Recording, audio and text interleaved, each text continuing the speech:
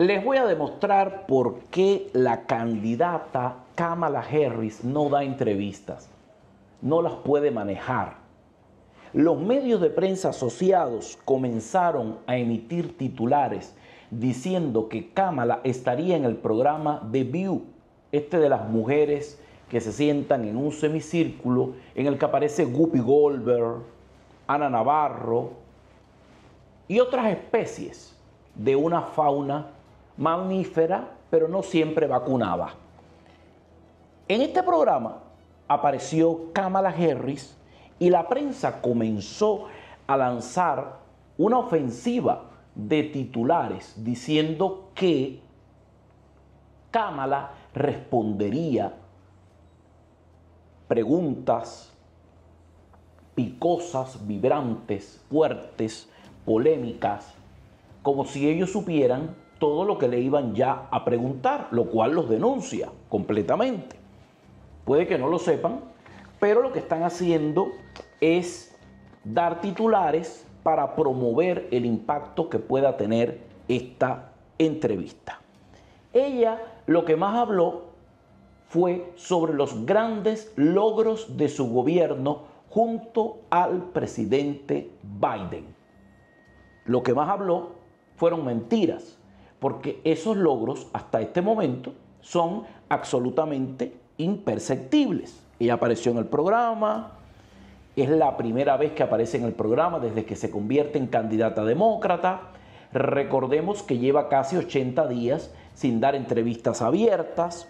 Desafortunadamente, para ella, una de las entrevistadoras decidió jugar a hacer periodismo, algo que no ocurre en ese programa, y comenzaron a hacerle algunas preguntas que no formaban parte, parece, de lo pactado y llevaron inmediatamente a Cámara a cometer un error conocido por nosotros como una metida de pata de esas tan grandes que te provocan una fractura de cadera irreversible, una metida de pata de esa que te lleva al quirófano. Ella le preguntaron si cambiaría alguna cosa que Biden había hecho como presidente. Le sirvieron en bandeja la oportunidad de desligarse completamente de Biden, que es algo que ella indirectamente ha estado haciendo mientras está en campaña. Claro, advierto, ella ha tenido una contraofensiva por parte de los republicanos y de la campaña de Trump, advirtiendo que es imposible que Kamala se desentienda de todo lo que tiene que ver con la administración aún vigente cuando ella ha formado parte de esta administración por casi cuatro años. Ella ha estado hablando de hacer, hacer y hacer, obviando verdaderamente un precepto que nadie puede espantar. Si tú lo hubieras querido hacer, lo habrías hecho, porque tú llevas cuatro años siendo la vicepresidenta de los Estados Unidos. Ahora, en The donde deben ser nice, atentas, sonrientes y buenas personas, donde se tontea sobremanera, comienza una de las miembros de esta mesa a jugar a ser periodista y le pregunta, ¿cambiarías una cosa que Biden había hecho como presidente? O sea, le están regalando el escenario de desentenderse de la administración Biden. Evidentemente, los asesores le han dicho a Kamala Harris, no debes desentenderte totalmente porque este argumento lo han desbaratado a golpes los republicanos. No es creíble que digas que te vas a desentender de lo que han hecho. Por otro lado, ella está enfrentando otro problema. A Biden se le derritió todo el helado que tenía guardado y ha decidido sabotearle a Kamala la campaña presidencial. Y ahora mismo les voy a narrar cómo lo ha hecho en las últimas horas. Cuando le preguntaron a Kamala ¿tú cambiarías una cosa que Biden había hecho como presidente?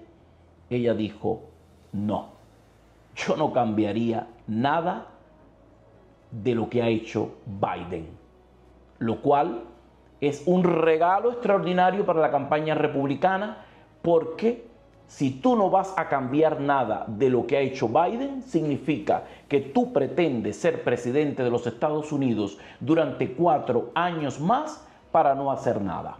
No había manera de salir airosa de esta pregunta. Este fue el momento. Evidencia. Well, if anything, would you have done something differently than President Biden during the past four years? There is not a thing that comes to mind in terms of, and I've been a part of most of the decisions that have had impact. No se me ocurre nada en torno a las decisiones importantes. Le preguntan además como parte de esta conversación y dice, no hay nada que se me ocurra. He sido parte de, las de la mayoría de las decisiones que han tenido un impacto. O sea, tú eres parte del gran desastre que ha garantizado la administración de Biden, que ha durado todo este tiempo, gracias también a tu colaboración ineficiente como vicepresidenta. O sea, esta mujer no tiene ideas nuevas, esta mujer es más de lo mismo, esta mujer no va a ningún lado, a esta mujer no le importa para nada cambiar grandes cosas, esta mujer no tiene nada nuevo que traer al ruedo para mejorar las condiciones del pueblo de los Estados Unidos. Ella misma lo ha dicho. Sin querer queriendo, ayer el gobernador de Santis le sacó el aire a Kamala Harris. El gobernador dijo, Kamala no me ha llamado, yo no tengo ningún registro de llamada, Kamala está haciendo política, Kamala ahora está fingiendo que está preocupada por el pueblo del estado de la Florida, por el paso del huracán Milton. Kamala no tiene que llamarme a darme ninguna orientación de este tipo porque el presidente de los Estados Unidos es Biden, no es Kamala. Simplemente Kamala está jugando a ser presidenta, no lo es.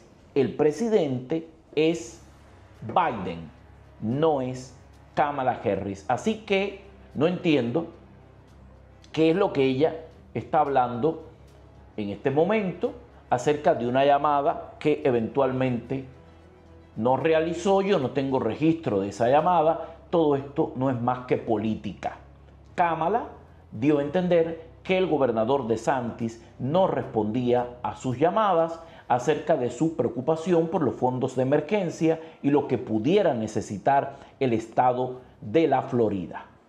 El presidente Biden como si se hubiese enterado inmediatamente de la mentira de Kamala Harris, hizo unas declaraciones unas horas después en las que dijo que estaba en un estrecho contacto con el gobernador de Santis. He hablado con De Santis, lo he felicitado por el trabajo grande y extraordinario que está haciendo en el estado de la Florida y le he dicho que estoy aquí como presidente para brindarle toda la ayuda que pueda necesitar como parte del paso del huracán Milton. De la manera más diplomática y más fina posible, el presidente Biden ha desmentido a la candidata Kamala Harris, quien al mismo tiempo es su vicepresidenta. Sin querer queriendo, la tiró del bus y la puso en la parte delantera de la defensa. Así que no es un buen día para mentir porque en todas direcciones están desmintiendo a quién? A la candidata demócrata Kamala Harris.